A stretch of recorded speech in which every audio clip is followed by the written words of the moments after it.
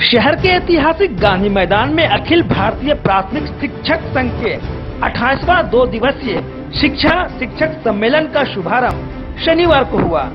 कार्यक्रम का उद्घाटन देश के गृह मंत्री राजनाथ सिंह एवं अन्य आगत अतिथियों ने दीप प्रज्वलित कर किया। इस मौके पर केंद्रीय स्वास्थ्य राज्य मंत्री अश्विनी चौबे, कृषि मंत्री डॉक्टर प्रेम कुमार, बिहार सरकार के लोक स्वास्थ्य अभियंत्रण मंत्री विनोद नारायण झा, प्राथमिक शिक्षक संघ के राष्ट्रीय अध्यक्ष रामपाल सिंह, संघ के बिहार प्रदेश के अध्यक्ष ब्रजनंदन शर्मा सहित कई गण्यमान्य लोग उपस्थित थे।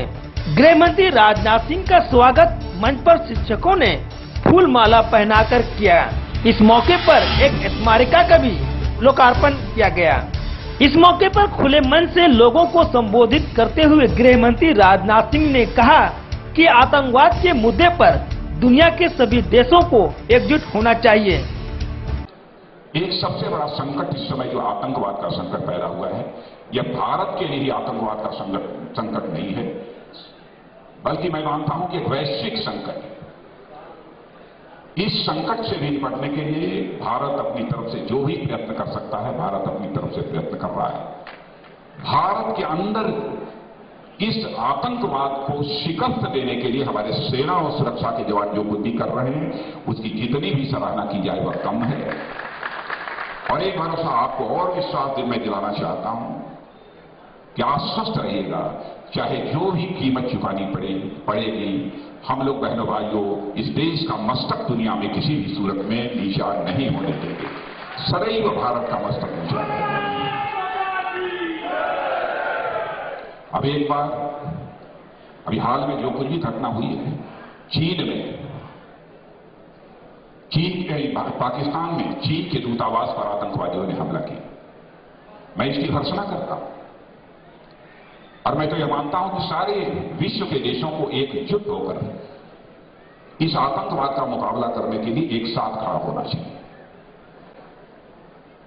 और पहली बार जब मैं 2014 में गृह मंत्री बना तो ऐसे ही सितंबर का महीना था।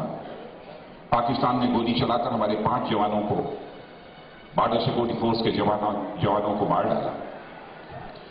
मैंने टेलीविज़न के पर्दे पर रात को देखा तो मैंने बॉर्डर सिक्योरिटी फोर्स के महानिदेशक से यह पूछा।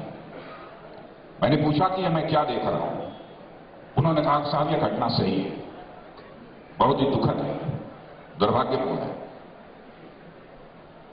तो मैंने कहा कि हमारी फोर्स ने क्या किया? उन्होंने कहा साहब, हम लोगों ने 16 बार सफ़ेद झंडे दिखाए पाकिस्तान क्योंकि पड़ोसी देश है, परंपरा चली आ रही है। उसके साथ अच्छे रिश्ते बनाकर रखने चाहिए मैंने कहा, बहुत अच्छा किया। लेकिन आगे क्या सोचा? उन्होंने कहा, साहब, एक बार सत्रहवीं बार हम फिर से सफ़ेद झंडा दिखाना चाहते हैं। सफ़ेद झंडे दिखाने का मतलब यह होता है कि पाकिस्तान अय पड़ोसी, तुम्हारे साथ हम लड़ना नहीं चाहते हैं, मिल बैठकर बातचीत करना चाहते हैं, मामले को सुलझाना चाहते हैं। इसमें किसी को कोई आपत्ति नहीं। मैंने पूछा, सोलह बार सफ़ेद झंडे दिखाने के बाद भी पाकिस्तान ने क्या जवाब दिया? उन्होंने कहा, साहब, अभी तक कोई जवाब नहीं। मैंने अगर कोई नहीं। जवाब दिया तो मेरा स्टैंडिंग ऑर्डर है कि सत्रहवीं बार आपको सफ़ेद झंडा नहीं दिखाना है। और पहली गोली और और आगे के लिए भी हमारा आदेश है कि पहली गोली तो भारत की तरफ़ से नहीं चलनी चाहिए। लेकिन उधर से एक भी गोली चल जाती है तो भारत की गोलियों को गिना नहीं जाना चाहिए, बहनों भाइयों। पूरे हालात बदल तो सुरक्षा का जहाँ तक सवाल है, भारत सुरक्षित रहेगा भारत की आन, मान, शान पर भी कोई आँच नहीं पहुँचा। केंद्रीय ऊर्जा मंत्री ने नए विद्युत उपकेंद्र का किया शिलान्यास।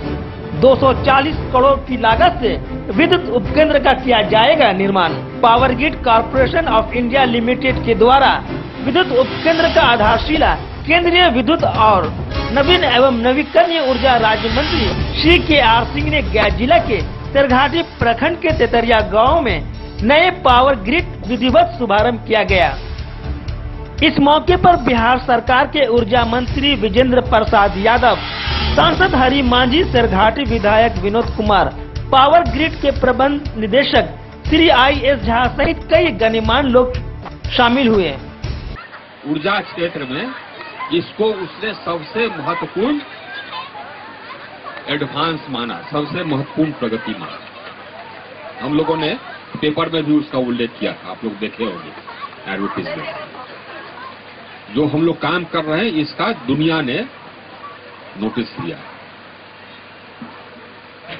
रिन्यूएबल एनर्जी में, जो पारंपरिक ऊर्जा स्रोत है, उसका तो हमने आपको आंकड़े दे ही दिए थे। इसमें एक चीज़ मैं बता दूँ। हमको गर्व है कि बिहार का परफॉर्मेंस बहुत अच्छा है। हर एक क्षेत्र में, ग्रामीण विद्युतीकरण में बहुत अच्छा रहा। और मुझे पूरा विश्वास है कि जो खेती के लिए एग्रीकल्चर फीडर देना है, उसमें भी बिहार अग्रणी रहेगा, हमको पूरा विश्वास कि जितना ऊर्जा की आवश्यकता होगी, उससे ज़्यादा वो का पैनल हम लगा रहे हैं।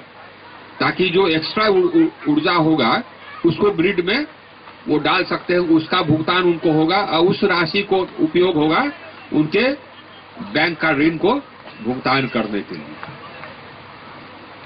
इसके अलावे हम एक सोलर कुकिंग का योजना ला रहे हैं। ताकि हम वो लगा दें इसी तरह से। तो उसके बाद उनका जो ये उनको जो अभी निर्भर रहना पड़ता है गैस पर, जिसका कि आधा पैसा तो भारत सरकार देती है, लेकिन आधा पैसा अपने देना पड़ता है। अब वो लगा देंगे तो उनका जो कुकिंग होगा इलेक्ट्रिकल कुकिंग होगा फ्री हो जाएगा।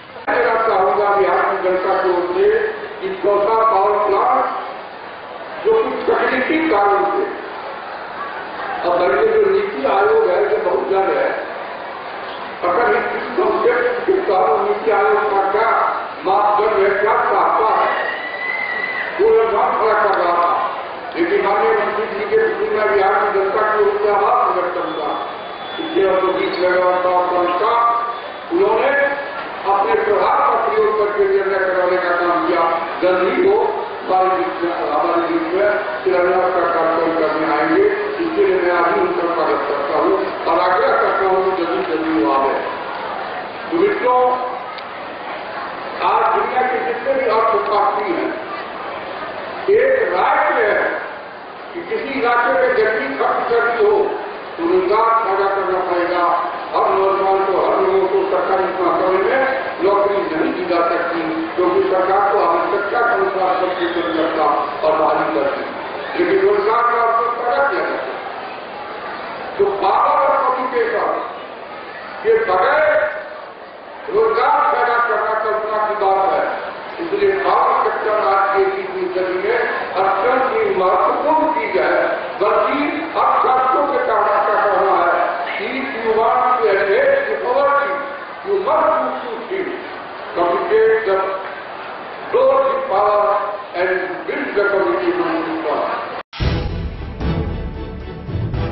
बीते 2 नवंबर को पटना में महिला सिपाही सविता पाठक की मौत डेंगू बुखार लगने के कारण हो गई थी, जिसको लेकर पटना पुलिस की बर्खास्ती रद्द करने एवं महिला सिपाही की मौत का न्यायिक जाँच की मांग करते हुए मौलिक अधिकार पार्टी के द्वारा शनिवार को गया के गांधी मैदान गेट नंबर पाँच पर धरना का किया गया आयोजन।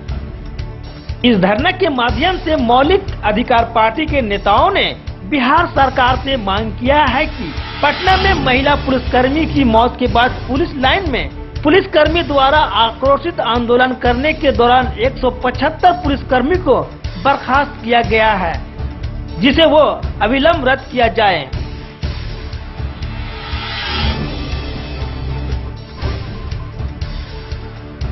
आज मौलिक अधिकार पार्टी का जो गांधी मैदान गेट नंबर पाँच पे जो धरना, एक दिवसीय धरना, शांति धरना है।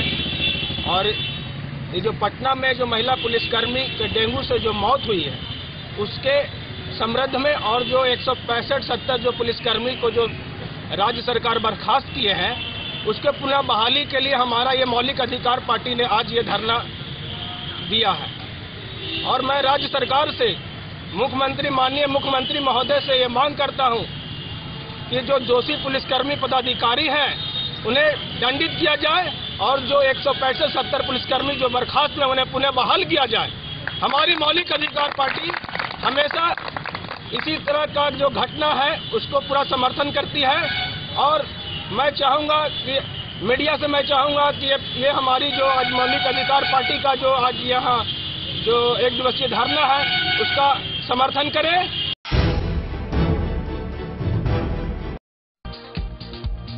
single point construction private limited present Tej tower address Rasalpur opposite G D Goenka public school Gaya Patna road Gaya now first time in Gaya contact for booking apartment office address single point construction private limited address Koiri Bari opposite Param Gyan Niketan school Gaya facilities club house intercom car parking swimming pool, terrace garden, fire safety, security CCTV, indoor game, vastu friendly, security, genset, lift, Wi-Fi, reading hall, common hall, shopping area, aerobic classes.